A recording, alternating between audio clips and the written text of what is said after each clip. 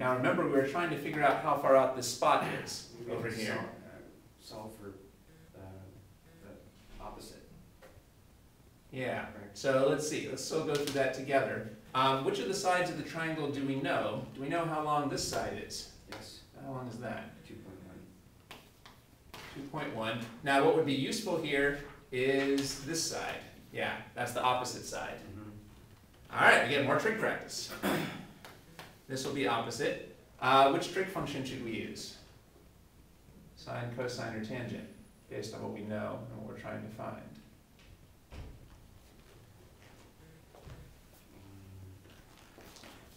This is the number that we know. Is this opposite, adjacent, or hypotenuse? It's adjacent.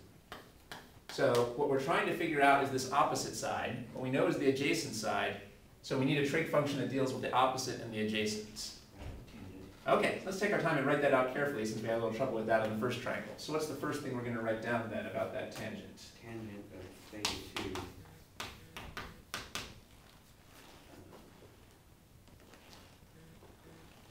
We can just call this opposite. Op over two point one.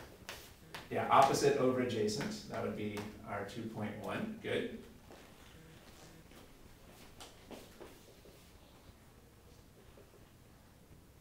Oops, I got, uh, no, I got- Is that forty-three, is that? Yeah, forty-three degrees. We might as well say what theta two is. Theta two is forty-three degrees.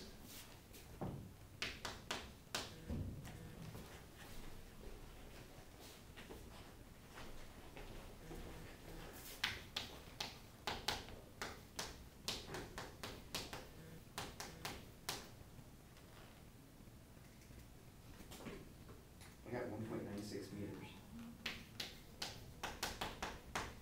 That sounds good. Now let's try to label that carefully in our picture. What distance does that one point nine six meters correspond to?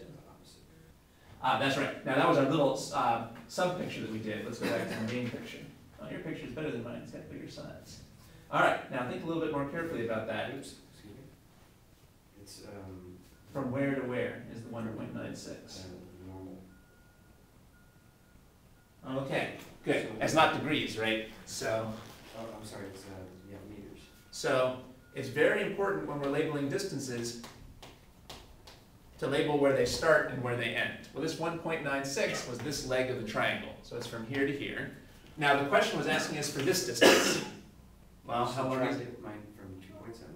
Take your time.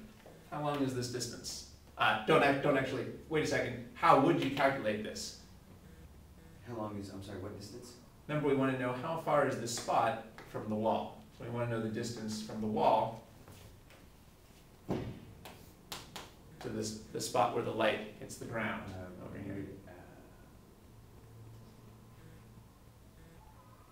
We would, uh, add it, add, uh, one point nine six plus two point seven. Yeah, I think your first instinct was to subtract. But remember, at two point seven, I have it most clearly labeled up here. Two point seven is this distance. Uh, and the one point nine six is something extra. You can label it down here as well. Four point six six meters.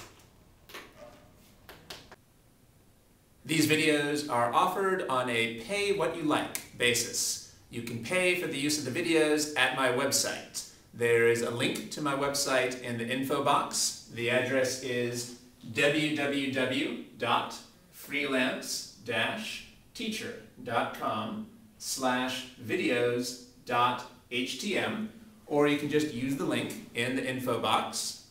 By the way, I also offer tutoring via Skype, and you can find more information about that Skype tutoring service at my website. Thanks.